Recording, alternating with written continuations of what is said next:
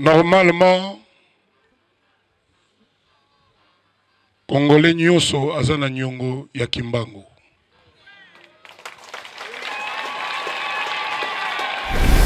na ye na mboka sacre ya kamba na bosoto na ngai, na kobunga na ngai, na baprobleme, na bapasi, na kozanga bapongi, na kosenga na papa kimbangu, na kosenga na papa nazonga na yango te, etikala awa.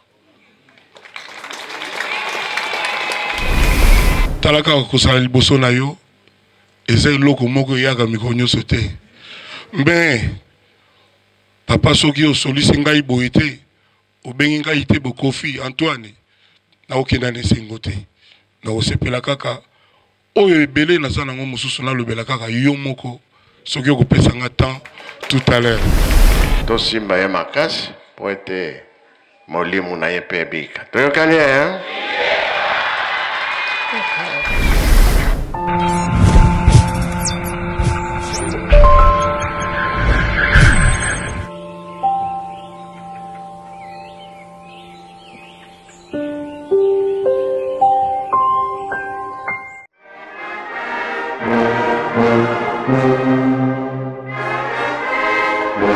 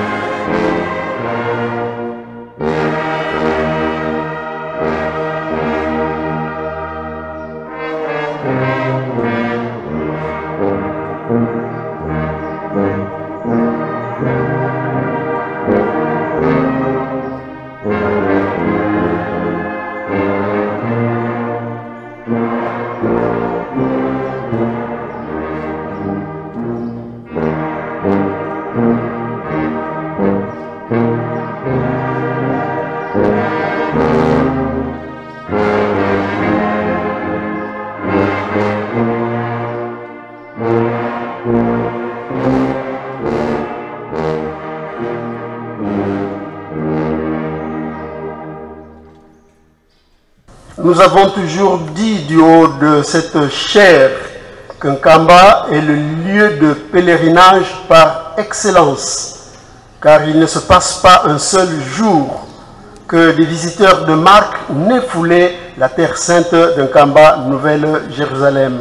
C'est ici que tous nous venons nous ressourcer pour le salut de nos âmes.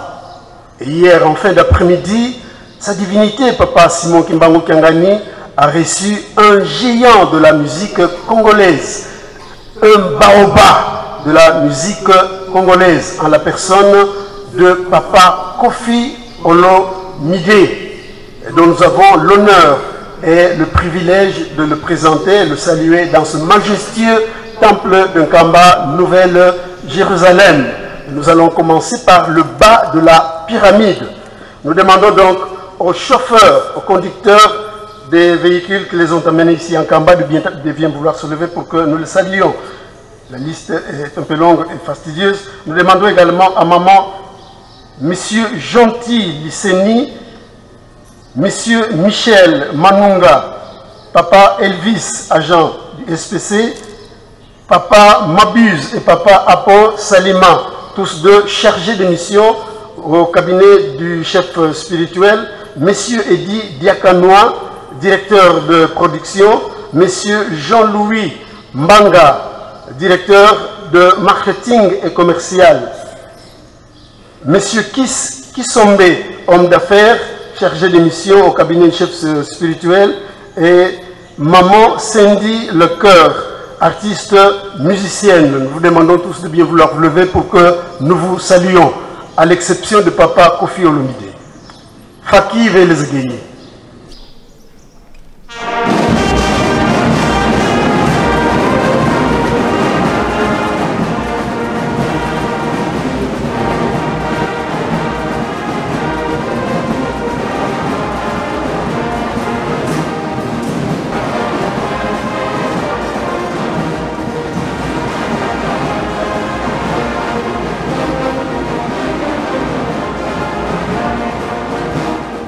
Joignons nos mains et saluons-les chaleureusement au trois noms saints, Père, Fils et Saint-Esprit. Au nom du Père, du Fils et du Saint-Esprit. Je vais vous asseoir, s'il vous plaît.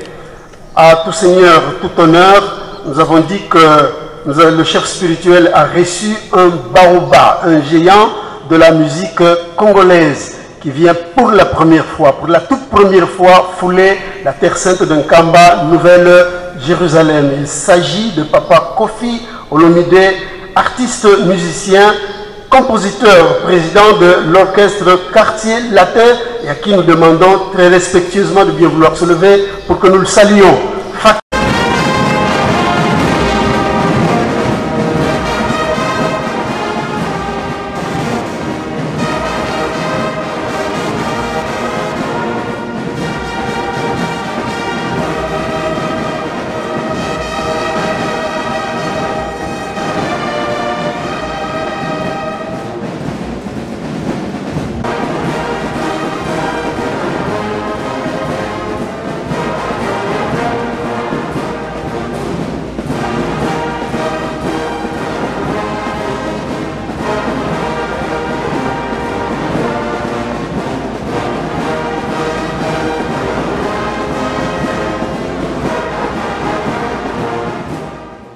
saluons-le très chaleureusement aux trois noms saints, Père, Fils et Saint-Esprit. Au nom du Père, du Fils et du Saint-Esprit. Veuillez vous asseoir, s'il vous plaît. Veuillez vous asseoir, s'il vous plaît. Pour votre mémoire, Papa Kofi, nous vous rassurons que vous êtes bel et bien arrivé ici en Kamba, Nouvelle-Jérusalem, siège international de l'église kimbanguiste, berceau de du kimbanguisme. C'est ici que Papa Simon Kimbangu avait commencé son œuvre salvatrice qui consistait à prêcher la bonne nouvelle de Jésus-Christ, à guérir les malades. Mais rapidement, il était jalousé par ses, euh, ses contemporains, mis aux arrêts par euh, les autorités coloniales de l'époque et envoyé loin de son pays, à Lubumbashi, où il passera 30 ans, de, 30 euh, ans en prison mais peu avant sa mort, il avait reçu son fils cadet, Papa Diengenda, qui est allé lui rendre visite à Lubumbashi. Et lors de leur conversation, Papa Simon Kimbangu confiera à son fils que toutes vos épouses sont enceintes, mais celle qui aura enfanté un garçon, celle qui aura euh, donné naissance à un garçon, aura donné naissance à moi-même, Simon Kimbangu curieusement le 12 octobre 1951, alors qu'il rendait l'âme à Lubumbashi, naissait instantanément, simultanément ici en Kamba, dans la maison de papa Dialungana Kiangani, papa Simon Kimbangu Kiangani, que vous, avez, que vous voyez devant vous. Et papa Simon Kimbangu, mort, papa Simon Kimbangu est toujours vivant en la personne de papa Simon Kimbangu Soyez donc heureux comme poisson dans l'eau car c'est une chance extraordinaire pour vous de vous retrouver devant votre Dieu. Confiez-lui toutes vos préoccupations, posez-lui tous vos problèmes. Ils trouveront solution car il est Dieu, le Saint-Esprit. Votre réputation vous a précédé ici en Kamba. Merci beaucoup et bon séjour ici en Kamba.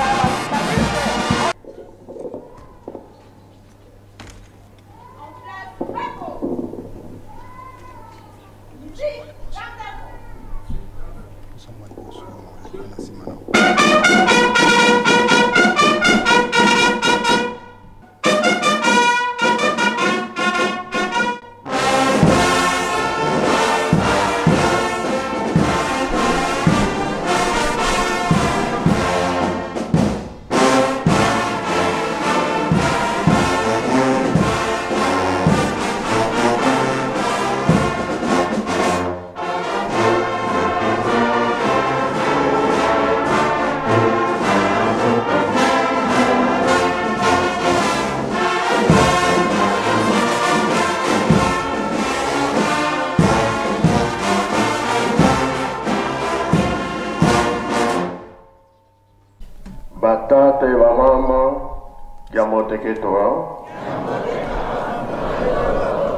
Aboyi, tukolele. Tutezele shute. Na kopra tata mwana mpe tata molimo santu oyo balobi na biso yango nde tosala Le ntongo ya lelo tozala nsintsani ba tata na ba mama mpo na mazout. Lelo eza mokolo ya misato oyo tosalaka misala ya lingomba. Tobosana te tosilisi na nkombo ya Tata, Mwana mpe Tata Molimo Santu. Amen.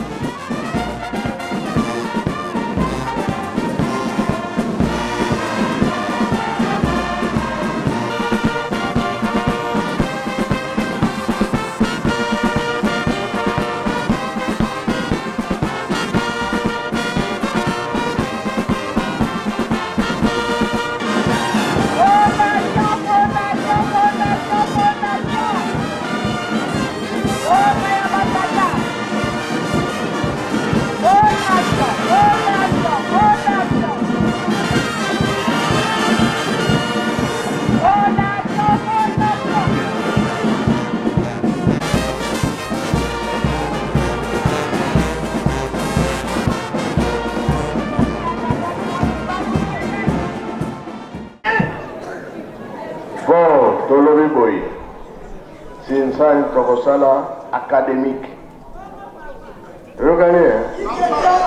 ekowumela te mpo moto muntu mpe aza na liloba koloba toyoka ye eh?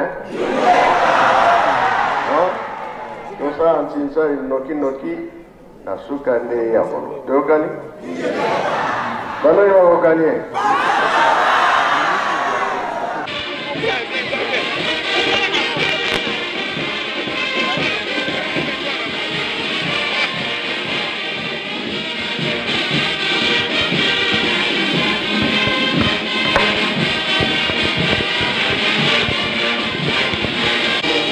Voilà, ndenge tolandi ete tokoyoka papa Kofi oyo ayeli biso na nkamba yeluselemi akoloba nini aye kosala na mboka ya tata simo kimbangu nzambe molimo santo totya matoi na biso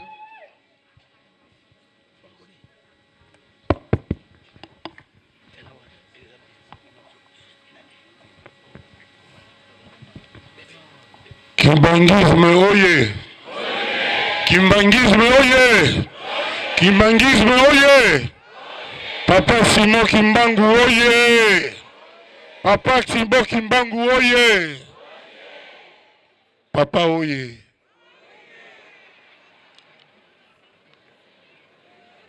Normalement, Congolais nyoso aza na nyongo ya Kimbangu.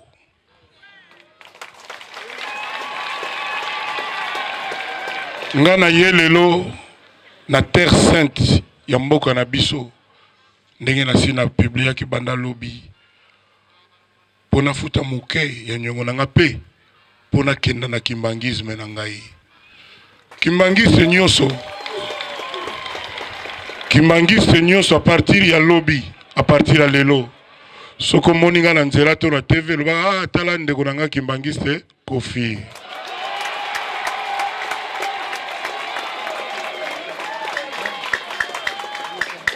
na ye na mboka sacre ya kamba na bosoto na ngai na kobunga na ngai na baproblème na bapasi na kozanga bapongi na kosenga na papa kimbangu na kosenga na papa nazonga na yango te etikala awa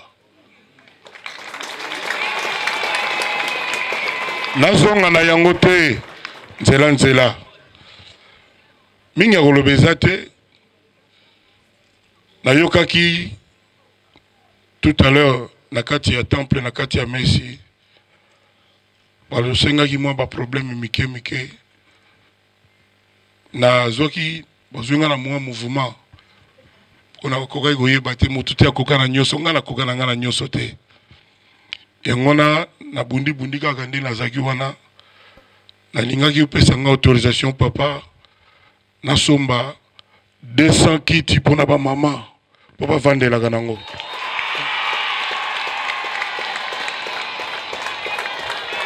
apesa epa nani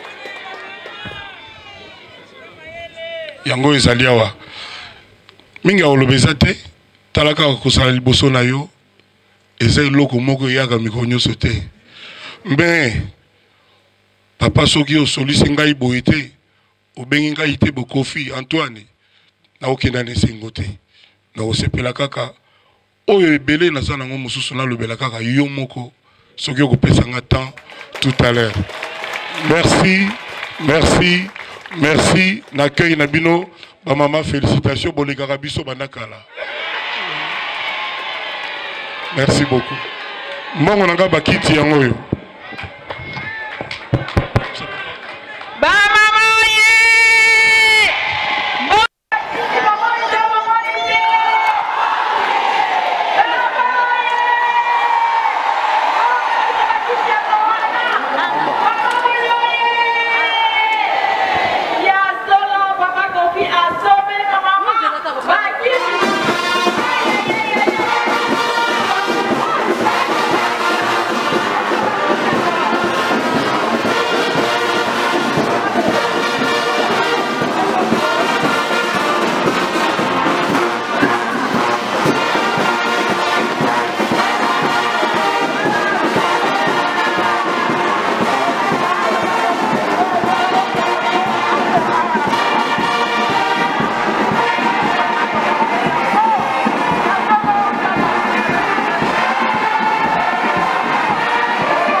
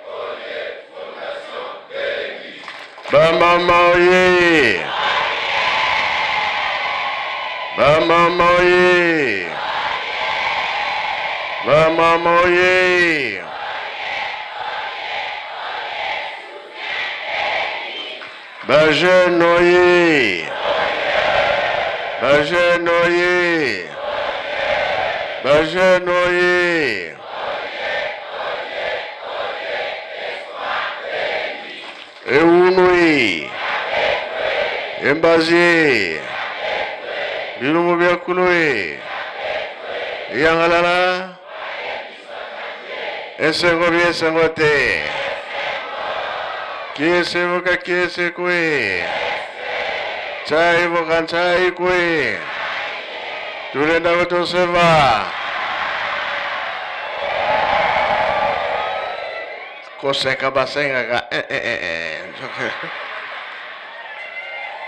na nkombo ya tata mwana mpe tata molimo mosantu tolandi ye mpe tolandi ye te toyoki ye mpe toyoki te ah maloba na ye mpenza eh? na luli yango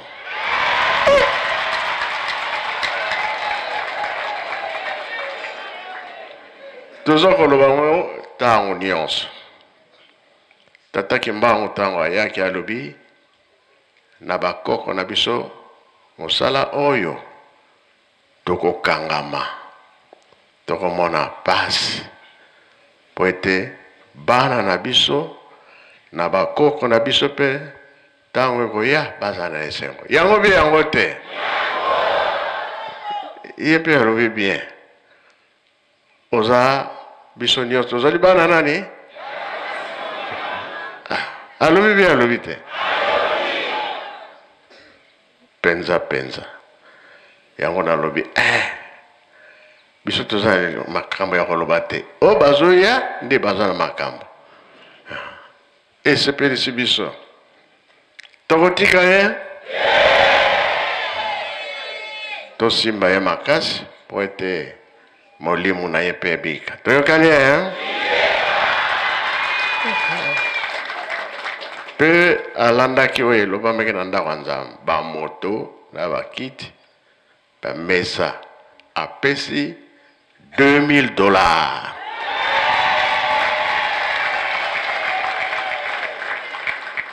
Nga moko na kopona soki na somba liboso nini.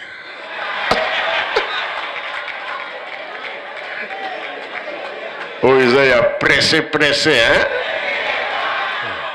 Biso tozo kokotize nanu mais avant goût tozwi yango. Bongo na to ya mama loba na ye na kombo misato, na kombo ya Tata, Mwana, Tata Molimo Santo, na nyonso esalami. Tokotia libondeli po ete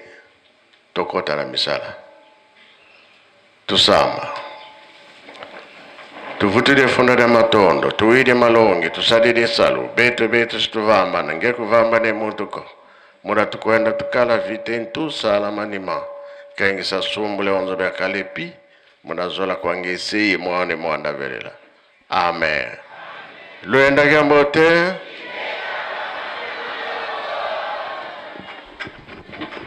Voilà, tolandi mai manso maleki awa loposo mwindo tosepela